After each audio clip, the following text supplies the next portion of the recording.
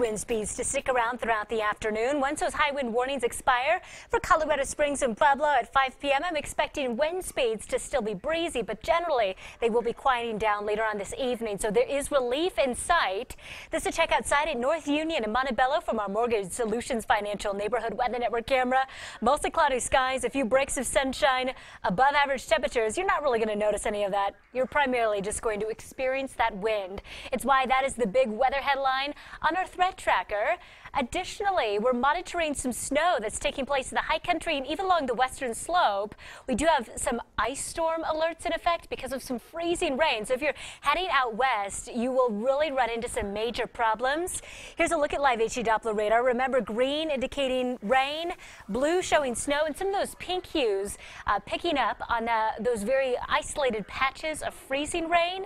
So if you're traveling to the mountains, do be prepared for a tricky traveling um, condition just because we will be seeing not only snow coming down, there will be reduced visibility due to blowing snow, and with wind driven snow, we will be seeing snow packed and icy roads. You'll really want to take it easy. This afternoon, high temperatures are set to range in the 50s and 60s. Throughout the evening into 8 o'clock, we drop to the 40s and 50s. So a really mild time frame for us as we go throughout the rest of the day today. It's just going to be those winds that really mess with us. Into 4 p.m., snow only becomes more widespread in the high country. Even can't rule out a couple of uh, stray showers in the Pikes Peak region, specifically Teller County, into 10 p.m. Lower elevations expected to stay dry through early tomorrow morning while it will still be breezy. We could see uh, once more breezy conditions tomorrow. It's not going to be quite as intense or as powerful as what we're seeing out there today.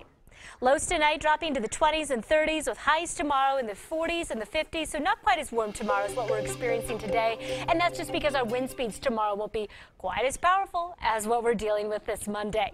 We stay in the 50s through Wednesday, dropping to the 30s by Friday. That's when we've got our next chance for snow.